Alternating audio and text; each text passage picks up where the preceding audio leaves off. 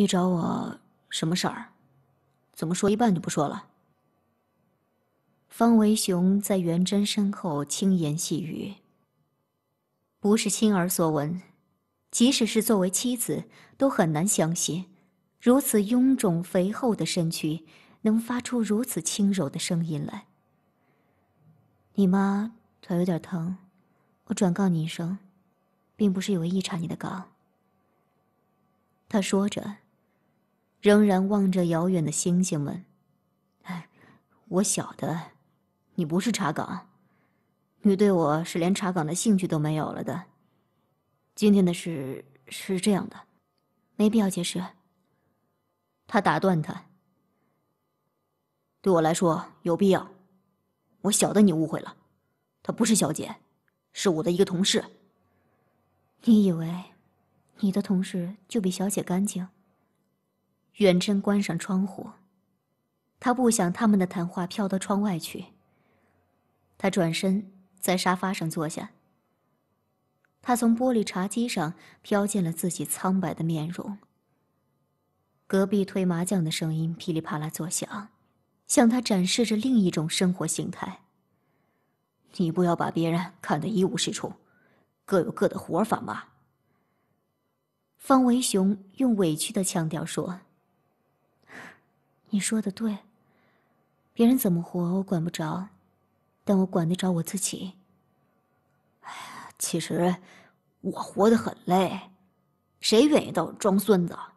可我还不是为了这个家吗？不要用家做理由，你的生活方式跟家毫无关系。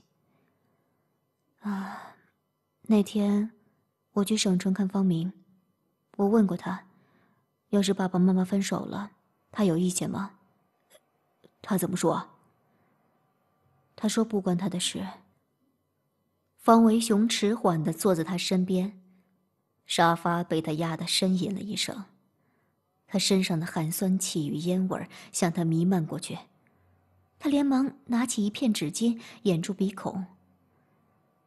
方维雄沉默了一阵，才说：“看来，你是下定决心要和我离婚了。”“是的。”他依然很平静。非得要走到这一步？我知道你看不惯我，可是别人不都是这样活的吗？我承认，我可能有不太检点的地方，可是我的不检点，与我们糟糕的夫妻生活有直接关系。错不全在我。即使如此，我也可以对天发誓，除了你，我从没爱过别的女人。我不想对你进行道德谴责，我也早已经过了相信誓言的年纪。我要离婚，也不仅仅是因为你的外遇。那你还有什么理由离？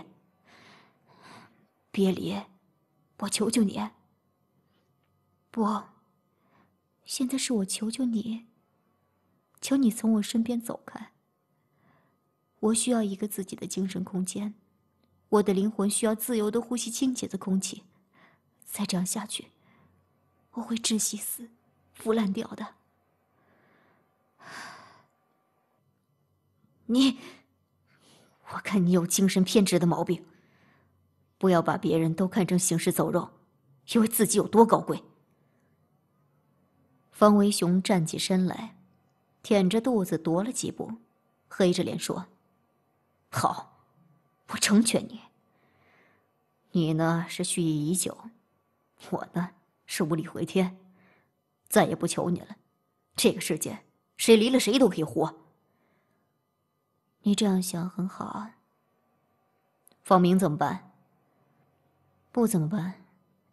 离了婚，我们还是他的父母。”还会一样爱他。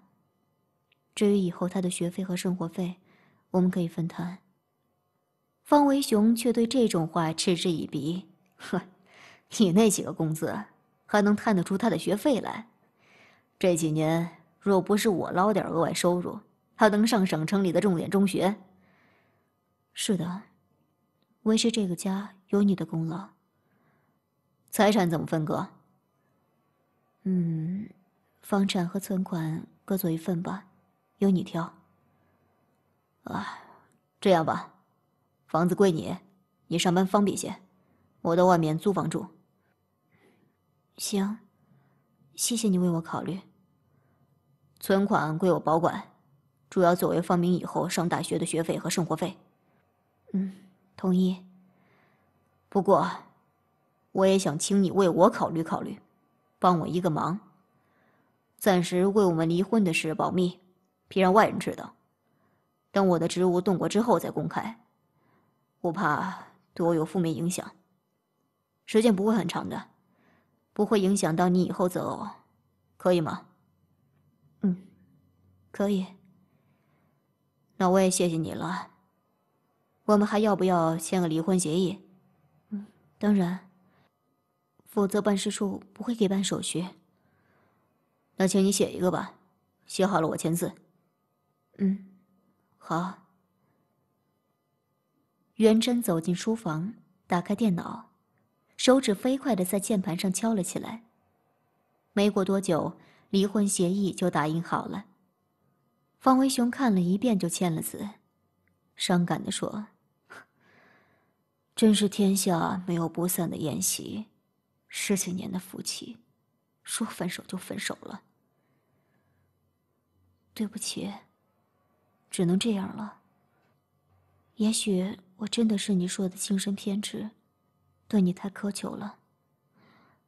但是没办法，我跟你说过，我有洁癖，我不想再忍受下去。好吧，我也不想再要这有名无实的夫妻名分，好合好散吧。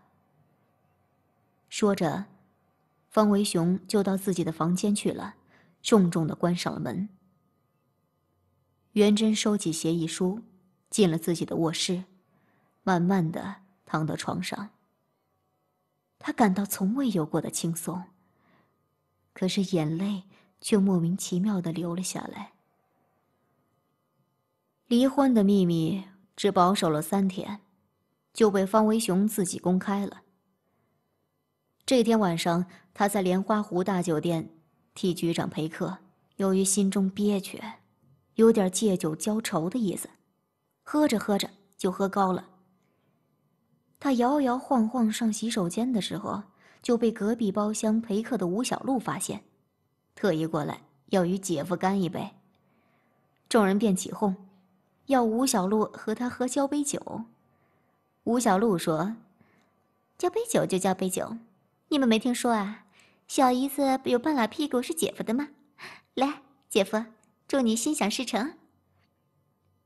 吴小璐举起酒杯，环住方维雄的胳膊。方维雄眼睛一红，将他推开：“别叫我姐夫，我已经被你姐开除了。”吴小璐还以为他酒后胡言呢。这么好的姐夫，我姐怎么会开除你呢？他开除我还不干呢。你姐好高贵，她看不起我，我在她眼里他妈一文不值。说着，眼泪也下来了。吴小璐一看他情绪不对，赶紧岔开话题，碰了碰杯就走人了。在包厢外，吴小璐打了元贞的手机。元贞平静的证实了方维雄的话：“姐。”你怎么也赶这个时髦啊？哎，这方文雄除了肚子大了一点儿，哪里不好呀？是不是你有外遇啦？喂，你别抬举我，我像有外遇的人吗？那就是方文雄有了。别乱猜。托尔斯泰说过：“幸福的家庭都是相似的，不幸的家庭各有各的不幸。”我现在过得很平静，心里清爽，这就够了。吴小璐便不再打听了，将好奇心放回心窝里。应酬完回到家里，见到楼刚躺在沙发上懒洋洋的看电视，他将脚上的鞋一甩，穿上拖鞋，高声说：“嘿，告诉你一个惊人的消息，表姐和方维雄离了。”是吗？楼刚默默的瞥了他一眼。是表姐提出的离呢。你怎么一点都不感到惊讶？我必须惊讶吗？你表姐离婚，你怎么这么兴奋？我兴奋吗？你照照镜子。吴小璐就照了照镜子，她的脸果然有些发红，但她说：“哎，没有吧，是喝酒喝的。”还没有，一脸的幸灾乐祸。也许有一点吧。你不是很欣赏表姐的吗？什么气质优雅啦，举止端庄啦，为人正派啦。可是咬人的狗不叫，看上去老实的人，往往做出格的事儿。你没资格这样说你姐。楼刚眼神阴郁，我只是比喻。我要是像表姐一样来这么一下，你受得了？楼刚不作声，眯起眼睛看着他，半晌才说：“你认定了，我离不开你。离得开吗？”他也盯着他。楼刚避而不答，却问：“怎么又是这个时候才回来？”这有什么奇怪呀？工作需要，在莲花湖大酒店的碧莲厅。你怎么知道？我是警察，当然知道。我有眼线的，你可要小心点儿。我可没做坏事，用不着小心。一顿饭，不用吃这么长时间吧？啊，又去喝了茶。陪秘书长。唉。还有很多的长。好了，今儿我心里高兴，不计较你的询问，适可而止吧。啊，不要自找没趣儿。我要洗澡去了。吴小璐拿了换洗的衣服，哼着“月亮代表我的心”，兀自到浴室去了。洗完澡，吴小璐冲楼刚兴致勃勃地说：“你也快去洗洗吧，今晚呀，我要慰劳慰劳派出所所长。”楼刚默默不语，又坐了片刻，才走到浴室里去。他关上浴室的门，在洗衣机上看到了吴小璐换下的衣服。他先拿起胸罩看了看，又用两个指头拈起那条粉红色的内裤，仔细审查那些隐秘的部位。他看到了一些可疑的痕迹，但又不能以此做出准确的判断。于是，他想借助于嗅觉。他将内裤举起来，凑到鼻尖下，很职业的吸了一口气。但是，他还是不能断定他的怀疑是否属实。他扔下了内裤。其实，他也知道，任何嫌疑犯人都不会如此粗心大意的。他只是想证实一下他的感觉。在她的感觉里，那种让丈夫羞辱的事早已发生，而且不止一次。楼刚洗完澡来到卧室，吴小璐伸开双臂迎接他。不管如何，她是妖娆的、妩媚的、魅惑的，她是生动的、性感的。她苗条而膨胀的胴体是任何男人都难以抵御的。他心里突然有一阵揪疼感，他俯卧下去，狠狠地冲进了他的身体里。哎呦，你轻点儿！可他卯足了劲儿，没有轻点儿的意思。你弄疼我了。可他却愈发凶猛，并且加快了频率，心里叫着：“你也晓得疼，我早就疼了，而且疼在心里。”老子疼了好久好久了。他将自己想象成一把锋利的匕首，向着他极恨的事物狠狠的刺过去，刺过去。只要有空，我就守在监视器前，但是，我就像在审查一部冗长乏味的电视连续剧，千篇一律的画面让我呵欠连天。秘书长办公室的那道隔门一直敞着，吴大德似乎没有关那道门的习惯，可是我期待中的镜头久久没有出现。吴小璐也一直没有在屏幕上露面儿。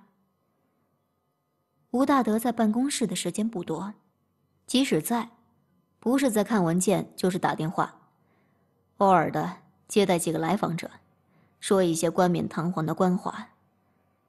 如此枯燥的工作，很容易让人产生同情。不过，有一天见到一个人悄悄的给吴大德桌上放了两条钻石芙蓉王，那同情就转变成羡慕了。且不说烟盒里可能有任何玄机，仅那两条烟，我一个月的工资还买不到呢。我有些懊恼，同时也觉得自己愚蠢。吴小璐若与吴大德苟且，哪里不可以？何必一定要到办公室来？幸亏买监视器的钱由公家报销，不然我真是费了苦心，又折兵了。但是没想到的是，就在我心灰意懒的时候，少儿不宜的剧情突然就上演了。那天本是周六，大家都休息的日子，我也没打算上班的。可是我的摩托车钥匙遗落在那间休息室了，就决定去取。到了我的小密室里，觉得闲着也是闲着，于是就开了监视器。屏幕上刚刚现出影像，吴大德的粗喉大嗓就震痒了我的耳膜。你以为自己了不起是不是？当官的训人是很平常的事儿，不训人就不是当官的了。我无意观摩吴大德的为官之道，想关掉监视器，却发现被训的是一个熟人——《连城日报》的记者孙不为。这就吊起了我的好奇心。这孙不为是个桀骜不驯的人，写过好几篇有影响的批评报道，很有些恃才傲物的派头，在吴大德面前却变得毕恭毕敬了。他俯首弯腰，殷勤的给秘书长递烟。吴大德手一拦：“别跟我来这套，你是组织部长是不是？你有权免掉我的职务是不是？”你即使是组织部长，也要常委通过才行。谁给你的这个权利？孙不为满脸堆笑，陪着小心。哎呦，秘书长消消气儿，小的平民一个，哪敢免您的职？工作疏忽，下次不敢，下次不敢了。吴大德却言极厉色，哼，这是政治问题，你知道会给我造成多大的负面影响吗？不知情的，还以为我出事了呢。哎，秘书长批评的对，我回去就跟总编说，一定按照您的要求，在明天报纸头版登出更正启事。我自己也一定写出深刻检查。我听了半天才听出原委。前一天，吴大德陪同市委书记到外资企业视察，孙不为拍了照片。写了一条消息登在《连城日报》上，结果照片上有吴大德，消息里却没有吴大德的名字，引得吴大德大发雷霆。孙不为点头哈腰的走了，这并不是我要看的场面，所以有些失望，就摸了一把吴大德的脸。吴大德的脸在屏幕上只有一片樟树叶大，在平时这张脸。我当然是不敢摸的。我再次想关掉监视器，就在这时，吴大德掏出了手机，拨通后说：“小洛啊，我完事儿了，来吧。”